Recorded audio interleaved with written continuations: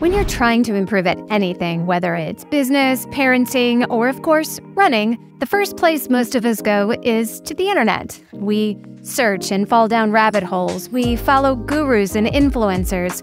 We look up this article and that study.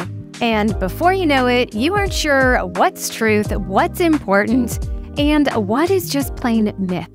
So today, we're to bust a few of those myths with strength coach and trail runner coach Tera Pruett. Welcome to The Planted Runner. I'm Coach Claire Bartholic, and my mission is to help you improve your running, your mindset, and your life with science backed training and plant based nutrition. In this episode with Coach Tera Pruett, you'll learn what she thinks are some of the biggest myths in the fitness industry, why a little strength training can be the best thing you do for your running, and how you can get started trail running, even if you're brand new. Tera has over 25 years in the fitness industry, and her passion is helping people discover their true fitness and reach big, scary goals. In her training studio, Tera coaches athletes to cross their first finish line strong and helps them conquer the trails. Tera is an amazing human, and I am thrilled to say that she'll be joining me this September for the Asheville Running Retreat. Tera will explain what her role will be at the incredible experience we have planned. But if you're ready to learn more right now, head to theplantedrunner.com slash retreat to learn all about it and sign up. There are only a few luxury cabins left, so if you've been on the fence about joining us, this is your sign to sign up today. Tera is also giving away a freebie for Planted Runner listeners if you're ready to get into trail running. So check out the show notes and get your free trail guide today. And now here is my conversation with Coach Tera Pruett.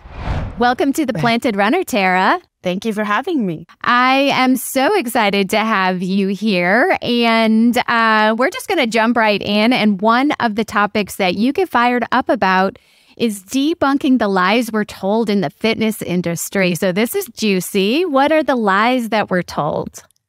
Oh my, there are so many. It's uh, it's hard to start with just one, but I would say my top three to five, starting with those, are um, that you have to be sore from a workout every time, and that's absolutely not true.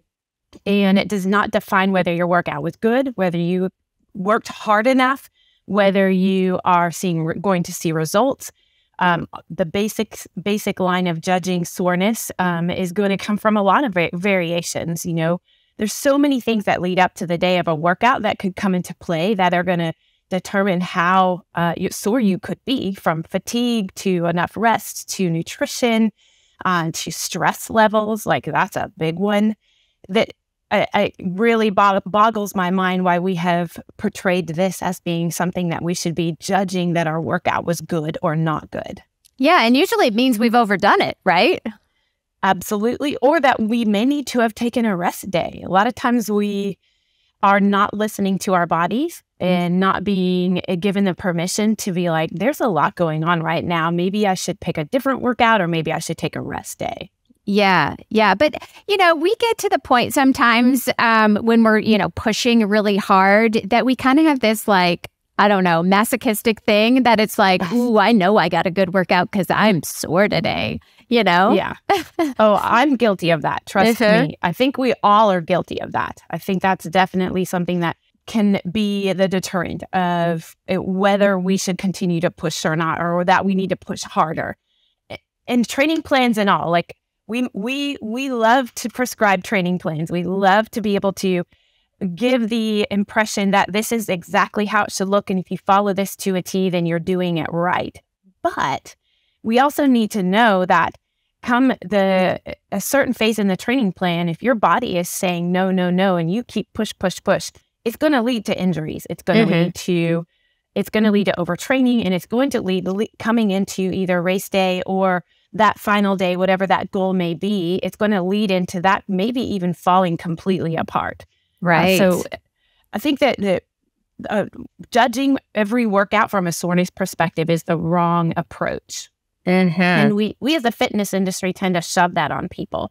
you know, a trainer might sound masochistic because they are taking pride in if you t- are totally smashed from the workout that they gave you, uh, a coach or a trainer. And and probably in my early days, I took a lot of pride in that. But now, mm-hmm. as I've grown into this journey, I have been able to kind of make sure that we're checking in with each client and being able to judge. You know, the first couple of questions I ask a client when they come in is, "How is your sleep? How was your nutrition yesterday? And how are you feeling today? Like, let's do a little check in instead of just jumping right in to a training session." Ooh, I love and that. I think that's a fair question to ask yourself when you are doing online training or coaching that you do a little assessment you know, how am I feeling today? Like, yes, this needs to get checked off my list, but let's check into see, uh, some of these other things and, and be able to kind of use that as a little bit of a guide. Mm-hmm. I think I think sometimes we don't trust ourselves because there are times when we don't feel like running or we don't feel like doing that extra rep, and there's honestly nothing wrong with us, and we just need a little push, and we're just like, oh, well, I'm just going to do it, or no, I'm not going to do it because I'm lazy. So I think it's a lot to do. We we just don't trust what's good for us sometimes, uh-huh. you know? Absolutely. And there is a difference in not doing it because we choose not to or we or deciding to pull back on the workout that day. I, would say lazy is a great term. Or we just need to work on that mental capacity, the mm-hmm. the the challenge of yes, I can. It's my brain telling me I can't. Yes, I can. And I usually use like a two rep reserve with clients. When mm-hmm. we're going through a strength training session, I try to say, okay, this is your, mm-hmm. I want you to hit this mark at this intensity level, but I want you to give me a two rep reserve. And that would give you a chance to, for that client to be able to judge whether they are pushing themselves to the ability that they could be, but also making that mind body connection that we tend to miss out on. Mm-hmm. So always something left in the in the tank when we're training. Yeah, but not much. Yeah. Just, just, just a little bit. Yeah. Like I could keep going and that's great. Um, and then there are places like sprint training where we want to give it all. We want it to empty the tank or HIIT training. So we want to empty the tank. That's where I explain to people that it should feel like you have nothing else left and you just have to try to give a hair bit more just to cross the finish line. Mm-hmm. Mm-hmm. What are some of the other myths that really bug you? Um, okay. So um, that you uh, have to eat within 30 minutes of a workout in order to um, lose your progress. And in the strength training world, we tend to hear a lot of this from terms of you must eat within 30 minutes or you've lost your whole workout or you've lost all your gains. And that is absolutely not true. Mm-hmm. While you are more metabolically efficiently going to digest and absorb and get those nutrients to the places that they need to be going, it is not true that you're going to lose everything from that workout of the day or from your future gains. That is absolutely not. I'm so tired of hearing uh, people talk about that that this is the end all right here. And you know, there I have a lot of clients that I train at five, six, and seven a.m. in the morning, and yes, I would love to have them pre-plan something to take with them on their way to their next step of the day, whether it be work or getting a shower or whatever it may be. But if they can eat within a couple of hours, great. I mm-hmm. would prefer them to get a full, well planned meal, balanced meal within a couple of hours. If you can get something in within 30 minutes, awesome as well, but it's not the end all. It's not the end of the world. Yes. Yeah. yeah. It can be more important if you're doing doubles, working out multiple times mm-hmm. a day when you're really trying mm-hmm. to do that. But overall, for normal life, your body's pretty mm-hmm. smart mm-hmm. and it'll take it when it needs it, right? It, it will. It will. And you're right. Um, if I have a client that's doing a training session in the morning and then a, and a cardio session in the afternoon for, you know, different purposes, then yes, I mean, I would prefer they get fuel in as soon as possible, but it isn't going to wreck the whole day. And making sure of planning with that client that they're they're planning the rest of the day to make sure that they don't forget food, which is what most people do. They get busy and they just don't do anything at all. So making sure that they have a plan in place for the rest of the day by pre-packing food or having a plan in place with places they're going to stop at or if they're just going home. Even I even encourage clients that work from home to try to prep their food so that it's just easy to grab out of the fridge and there is no excuses for um, getting stuck on the computer for the day. Yeah. Yeah. Do, do you find people that you work with tend to undereat or tend to overeat? Because I struggle sometimes talking to both of those people because they're very different athletes. Some people uh, have a real problem with overeating. I mean, this is America. Lots and lots and lots of people do. But, you know, a lot of the really serious runners have the opposite problem and undereat. What what are you finding with the people you work with? I have a mix of both, but I do find that I we lean more towards the undereat because they get so conf- they get so locked up or bottled up with the right or the wrong that they just don't eat anything. Uh. And then they get to the evening time and that's where the overeating tends to happen because you're so hungry by that point that you're just eating everything and especially when it comes to parents with small kids, you know, you're fixing them dinner and you're snacking on all the things while you're fixing dinner. So, yeah, I, I get a mix of both, but I most definitely see, especially in women, under eating because they're not certain if they're they're afraid of eating the wrong things and then then it just leads to overeating down the road and it, it can get frustrating when it comes to encouraging them that they need to be fueling their body and our bodies want to eat and and I'd rather they eat something than nothing mm-hmm. until we can work on that next step. Mm-hmm. So I'll try to just make a couple of suggestions along the way so that it doesn't feel overwhelming. A lot of people aren't in a place that they want to take on that whole big chapter yet. And so small steps along the way are the best way to start that. You know, what are you doing now and how can we make one or two adjustments now? And when we when we get the hang of that, then we'll make a couple more adjust, adjustments. So that that's the that's most of the population that is would prefer to adjust in small spaces and small time small um, places moving forward versus biting the whole thing off at one time. Yeah, yeah, that's how you get overwhelmed and you're more likely to quit. if you're if you're just like, oh, I can't do it, get, hand me all the Snickers or, or whatever it is, yes. you know. Um, yes. Any other myths you want to debunk here? Yeah, I think um, my other biggest factor is um, that you um, that cardio uh, car- that cardio is better than strength or strength is better than cardio. Mm-hmm. And I 100% disagree with both avenues. They have a place to complement each other and they have a place to you can create balance. So right I would say 10 years ago, we were in a realm that it was all cardio, or even 20 years ago. I mean, everything was cardio, cardio, cardio, from classes to the machines to, um, and it was great that we, as women were finally finding our place and working our way into the um, running world. This, that, which is fantastic. But now it's all strength training is the jam. Like this is the only place to be is strength training, and there is a perfect place to find some balance one doesn't cancel each other out. On top of too much, a, a, a new um, thing that's a new thing that keeps getting repeated is all the cardio in the world is going to diminish all your strength gains. Mm. And and ultimately what it's going to boil down to is are you fueling well enough to support the two if you have them both on board? And it it's not one cancels the other out or too much of one cancels the other out. But we've got to find a place that you're fueling well to be able to to support both modalities. Mm-hmm. Well, it's it's hard to do both of them really, really well. Right. Though, yes. I mean, you do have to prioritize one or the other, or you probably are going to be just, you know, not improving in both. Is that right?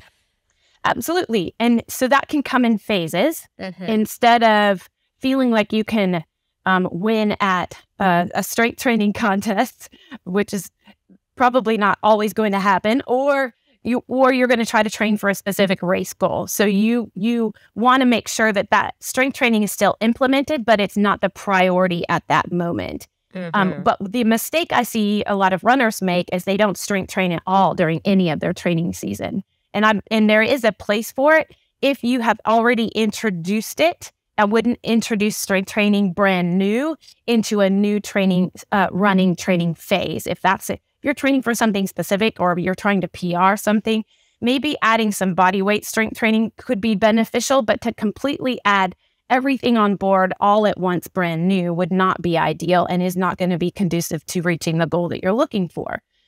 But if you've been strength training and say during your off season of running, you want to increase that and see some more see some more gains or play with some more lifts or or challenge yourself in a different way, that's the time to do it, but still keep it, maybe change the the, the approach of strength training as you head into more of your training season to um, reach that running goal. Yeah, yeah. I, I would say so many runners don't have seasons. They're just like, yes. I'm a marathoner and I'm yes. just going to do marathon after marathon, and that's just my life. And I want to get faster at the 5K and I want to get stronger and I want to PR in every race that I run every single weekend. And I, you know, I, I have no, there's nothing wrong with that if it brings you joy. right. but exactly. if if you're happy and healthy, keep doing what you're doing. You don't need us. Yeah. Um, but you know they don't have off season, so uh, mm-hmm. you know how do you how do you roll something like that in? I still encourage strength training in a different. I pull back on the heavier lifts. We still work mm-hmm. on um, single sided movement, um, multi directional movement, balance, stability and I don't pull back on the weights though. We just take out those heavier lifts and we focus on more conditioning work so that they're they can still see those movements benefit their running.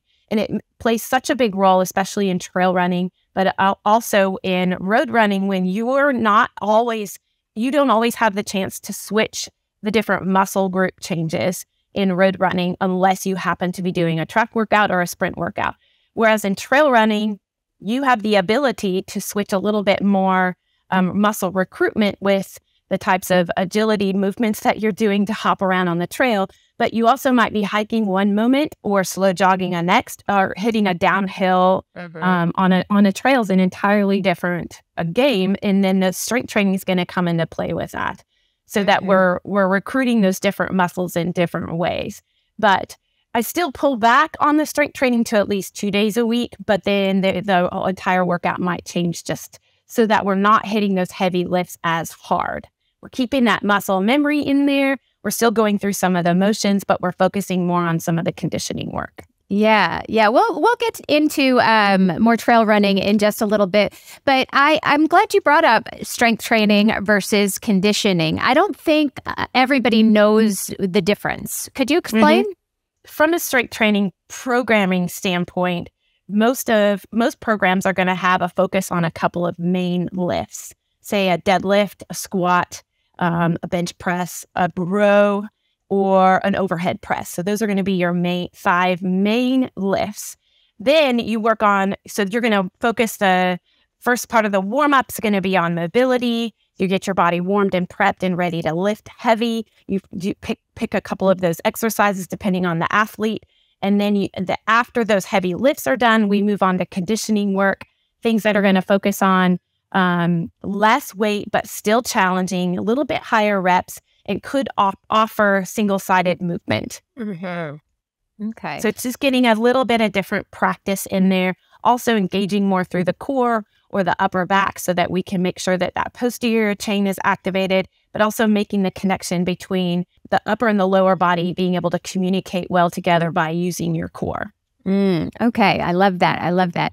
Um, another thing that you brought up a little bit earlier was the idea of balance. And I talk about this a lot that I hate that word because I don't think anybody's balanced. And I think if you try to be balanced all the time, you're never going to do anything well. So I think it's important to be unbalanced sometimes. Mm-hmm. Um, but, you know, let's talk a little bit about balance and big goals. How do you do it? Before I get back to the conversation, I want to talk about a massive problem that I see with runners everywhere, and especially plant based runners. You know that I'm the first to tell you that you can absolutely get everything you need from a plant based diet as an endurance runner, but most runners are struggling. With our busy lives and time consuming training schedules, making sure that you get enough to fuel your training and making sure that it's actually optimal for your health and performance is a real challenge.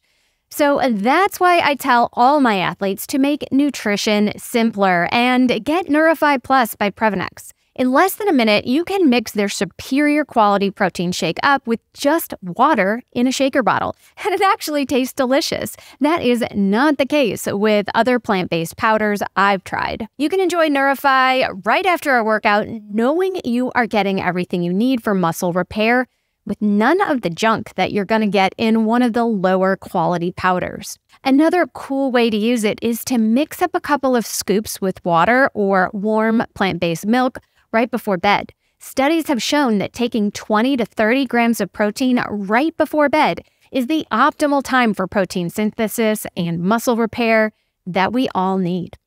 Look, this is the only product that I'm working with, and that's for a very good reason. I believe in Previnex quality, their mission, and I use Nourify Plus myself. And I'm not the only one. Lindsey Hein of I'll Have Another, Jason Fitzgerald of Strength Running, Whitney Heins of the Mother Runners, Elite Athlete, Emily Infeld, and so many others in the running world are passionate about Previnex too. If you're ready to simplify your nutrition and optimize your fueling, you can try Nourify for 15% off the regular price with my code PR15. That's PR15 at Previnex.com. And now back to our conversation. Okay, I'm glad you brought this up. okay, so the most of the people that I get come to me and they have this all or nothing mentality. So they're either all in or all out. I don't believe the balance is directly in the middle. I believe sometimes it swings this way and sometimes it swings this way. And in order to achieve goals, you do have to be unbalanced. You do have to be a little obsessed. You do have to have your eyes on the prize. But and that's where the unbalance comes from. But then when that goal is hit, I do feel that we need to bring it back a little bit more towards the middle versus always the I'm all out or I'm all in. And that's where it's easy to get sucked in from what society tells us, especially if you're following every single per- fitness influencer or fa- famous runner out there. They're not telling you the ins and the outs of their true to true, true daily, day to day life. The fact that they could, that they, that, that, that isn't all on, all in all the time. And we get this persona as we're watching on the outside that they're all in all the time. They never give up and there's no other way. And this is the way that it has to be achieved. And I must follow this. And that's not going to pertain to our day to day lives with families and kids and schedules and sports and our own commitment to our own goals. And so that's where I tend to try to get athletes, and especially as parents, to really work on that. Yes, this, your family is your priority, but your goals are important too. And sometimes it might mean asking for help getting your friends to kick in, getting your spouse to pick up just a little bit extra, you know, so that you can squeeze in that extra hour of work. So it doesn't have to look like the athletes. It doesn't have to look like your goals don't exist or your goals aren't that important, but we can find um, a little bit of a happy medium. And during during that phase that you're working towards a specific goal, a race or whatever that may be, you might need a little bit of selfish time in there to ask for a little bit more, but then you'll pull it back to normal. So I call balance like, yep, a little bit of selfishness up here. We're going to go for it. Mm-hmm. And it's my turn. And then next time it's dad's turn, or next time it's, you know, the siblings' turn because it's their eyes, their time for their spotlight. But then we pull back to a little bit of, of, of more balance and I don't even say normalcy because none of us have normalcy anymore. no, no, but I mean, everything, I 100% agree with everything you just said. But, you know, I got to be honest, like, it feels really selfish on Saturday morning when the kids are, uh, you know, watching cartoons and and the spouse is making pancake, and you're like, okay, I'm going on my three hour run now. Like, there's a lot of guilt, a lot of mom guilt, dad guilt, spouse guilt, whatever you want to say you know, we don't actually have to be trying this hard. You know, we could be fit without these big goals. And so like the the mom brain, the dad brain start feeling bad about ourselves. So what would you say to that?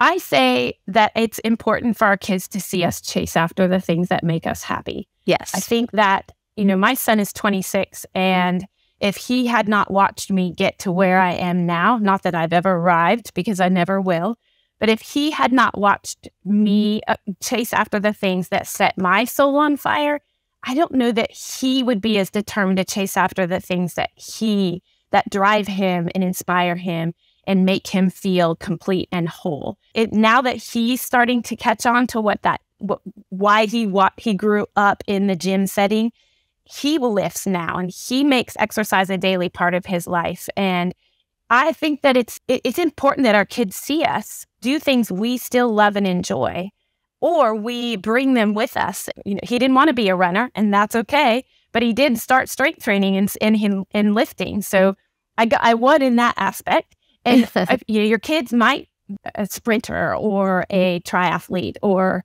um, you know, a track star, whatever that may be. But them watching you accomplish hard things inspires them to chase after hard things as well. Absolutely. Absolutely. I love it. I think our kids need to, to see us being good good adults, you know. They don't always need us to sit and watch cartoons with them, although that's okay sometimes too. But absolutely. but yeah. It, yeah. doing hard things is counterintuitive and uh-huh. it's that's a hard lesson to teach your kids unless you're doing it yourself. Absolutely. And the trade-off is I see parents do this all the time. And I made Sean ride his bike with me when I was doing my training runs, and he just, that was the only option. But then at the end, he got to pick what activities we got to do together. And that, that made it fun for him. It was like, oh, cool, I'll do this thing with my mom, but then it's my turn to pick something. And then when it comes to like flopping the responsibilities, I knew that the spouse wanted to motorcycle ride the whole afternoon or the next day. And so it became this, yep, I want to do this, you want to do this, lots of communication. And then some weekends it was, we're all going to go do the one thing together as a family. So I do, I feel like, yeah, it can feel selfish, but I come home a better mom. I come home a better wife. I am more dedicated to my work because I know that what I'm asking my clients to do for themselves, I would not have, I would have already done for myself. And so I get it. And I want, I always want my clients to know that I understand that I'm not asking you to do anything I wouldn't have done myself. So that, that there's some connectivity and relation, relatable um, information to share there and encouragement to let them know that you're going to be better for this for your family mm-hmm. because you're mm-hmm. doing something that you can't stop thinking about. And that's not okay. We need to be able to chase those things. Absolutely. Absolutely. So, you're going to be joining me this September in Asheville for the running retreat. I am so glad to get you on board. And I would love for you to tell everybody a little bit about what you will be doing and teaching and what you're going to share with the group. Yeah. So, I'm going to be taking us through some strength workouts so mm-hmm. that we can have an idea of whether you have no gym equipment or limited gym equipment or bands We'll be starting out with some um, basic strength moves so that you know how to safely perform each move and be able to take you through some of those workouts with either kettlebells or dumbbells. We will be in my studio here in Asheville. It is a 1500 square foot personal training studio. So we'll have access to that and be able to spread out and uh, feel at home. And it's a private training studio, so it's not open to the public. You'll be able to um, just come in and we'll be able to take over and feel at home there. Yeah, and maybe some bar Pilates kind of things you're going to arrange yeah. for us. So some yes. stretching and all of that. Yes, we will have a class that will have a combination of yoga, Tai Chi, and Pilates when it will be performed to um, beautiful music. So there'll be a little music in the background. But I love this combination, this this trio of movements. One works more breath work and connectivity with your brain and your body, and in, which is important for all of us athletes. And then the other will work a combination of yoga and Pilates. And I don't know about a lot of athletes out there, but I personally struggle with paying attention through mm-hmm. these types of practices. And this class is one of my favorites because I tend to just engulf myself in the moves and the music, and it's very fluid and easy to follow. Ooh, I can't wait. I'm definitely going to be doing it with everybody. I'm so excited for that. Uh-huh. Um, you're also going to be leading a trail run in our beautiful forest just down the road. So, yeah, so let's get into a little uh, trail running uh, talk. What do you love about the trails? I just love knowing that you just ran somewhere that your own two feet had to take you. And that there are so many amazing places to run well, around the world, but here in Asheville, we have a very large gift of just jumping on the trails within 10 or 15 minutes. And knowing that you could run somewhere within 30 minutes that a car can't take you. You can't drive that to that place. You can't Um, you can't catch that view in any other way, knowing just other than your two own two feet taking you there to check out the view. And there's something satisfying about that. And then to be able to share it with either your your your person or your community or your friends and knowing that you all made that trek there, there's something special about being able to share that with other people. Absolutely. I think uh, sometimes uh, road runners who haven't been on the trail or first time beginner runners, they're a little intimidated about trail running. You know, they're scared of the bears or the snakes or twisting their ankle or getting lost. You know, those are the common fears. How would you kind of address that for beginners? Okay, so the one thing no one told me so switching from road running to trail running is you are going to slow down. And that made me mad. No one warned me that. and I kept getting mad at myself for being so slow on the trails. And it just took a little bit of practice because you are having to pick your feet up a little bit more, get a little more elbow knee drive, especially uphill. And most definitely watching out for those um, sneaky little uh, branches under under your feet and rocks. So just knowing that you might have to slow it down a little, pay a little extra attention. I personally, our bears here, they're actually pretty friendly. I know people talk about them all the time, but they're more afraid of you than they than you are of them, and used to act big and big and loud and proud is what I tell people. And they they most of the time will leave you alone. The, the, and they're just a unique, fascinating, amazing creature to see. It's such a gift. Um, as far as snakes go, yeesh, that's, not, that's a that's a nope rope for me for sure. Um, but I mean, they are there. They're generally not there to be aggressive or vicious, but they are there. I mean, it is the reality of running in our mountains. But uh, for the most part, it, I would say I'd probably run by hundreds of snakes and have never paid attention. Mm-hmm. And the one time I do pay attention, I never see a snake. So you're probably not even going to know they were there. Right. Right. Yeah. Yeah, very yes. small risk. Yeah. And yes. it, but also about like, you know, you talked earlier about you're moving in all directions. You got the downhills, you got the rocks, you got the roots and all of that. So it's a really different it's a different sport completely than road running. You're using your bodies especially your ankles. You're you're moving in all different directions. Um anything that we should prepare for before our first trail run? I think the big thing would be know that you're going to have to slow down a little, and that's okay. You're out there to have fun and see something new. And if you happen to have a pair of trail shoes, that would be beneficial with just a little bit of extra grip because run shoes generally have more of a little slicker grip, you know, uh, bottom on the shoe. So just being kind of mindful of something that might have a little bit more of a tread on it um, as far as that, the trails go. And then just you're going to be you're going to be a little more agile from one foot to the other and mm-hmm. you will have to hop around a little bit differently and that's okay. Just know mm-hmm. that you could be sore you could be a little bit more tender and sore mm-hmm. in some places differently and um, you have to look at the ground a little bit more. You kind of can't zone out necessarily. If you do want to stop and take in a view or you see something i suggest stopping try not to run and try to view whatever you're looking at that's usually where uh, you face plant pretty well. So, um, yeah, if you want to look, take, check out something, do slow down or stop. yeah, that's honestly the reason I prefer the roads. because I I am so in my head just thinking about do do do do do, and every time I do that on the trails, bloop on my face, yeah. even even on the sidewalk, Always. even on the sidewalk, that happens oh, yeah. to me. So mm-hmm.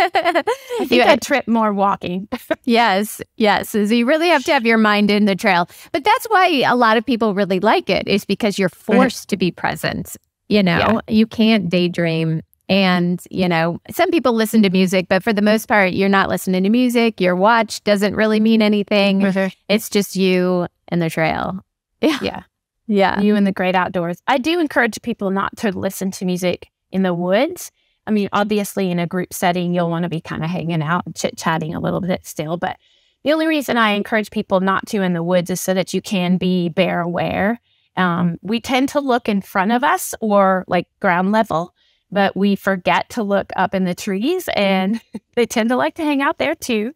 So it's just always good to just have your have a hear of what's going on, plus just being uh, eyes eyes being more present and checking things out just above eye level. Yeah, yeah, great advice. Well, hopefully we haven't scared anybody away. I mean, the bears really they're not that big of a deal no, here. I actually, they really aren't. Yeah, it actually I've lived here for over 20 years and really have only seen bears a handful of times. It's not like you go on a run and they're there all the time. Mm-hmm. But yeah. Nope. Yeah, well, I am super excited uh, to have you. Um, yeah, joining me, helping coach, and to help share your wisdom about balance and being unbalanced with with everybody, and to get a new perspective because you know I'm I'm the road runner, and you're the strength coach and the adventurer. Uh, what what adventures uh, do you have planned this year? So this uh, couple weeks, I finally am doing uh, another trail race. I haven't done a race in a couple of years, so I myself will do a, a 50k in a few weeks, and then some backpacking and some fast packing. Awesome. So, yeah. Awesome. Getting out in our mountains. Perfect. Well, I think that's a great place to wrap this up. Uh, again, I'm so excited to have you both on the Planted Runner podcast today and to join me for the retreat this fall. Thank you so much, Tera. Yes. Thank you. If this conversation got you excited to join us in September for the amazing Asheville running retreat, head over to theplantedrunner.com slash retreat to learn more and sign up for your spot today. I can't wait to meet you this fall. And now it's time for the Mental Strength Minute. Fortify your mind in 60 seconds or less. Today's topic is it could be worse.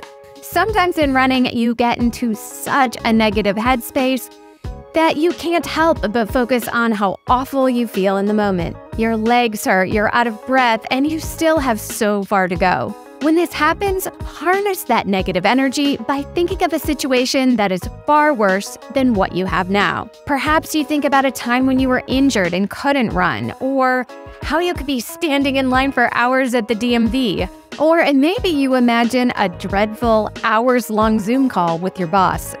Whatever it is, think of something that's far worse than this horrible run. Extra points if you get silly enough to make you smile. We typically think of negative thoughts as a bad thing, but sometimes you can harness them for the positive. Thank you for listening to The Planted Runner or watching it on YouTube. Don't forget that you can win a copy of my book for leaving an Apple Podcast review, so be sure to write yours today right after your run. Reviews are the number one way to boost this show's reach, and it's a great way to tell me what you'd like to hear next because I read every single one. Have a great run today.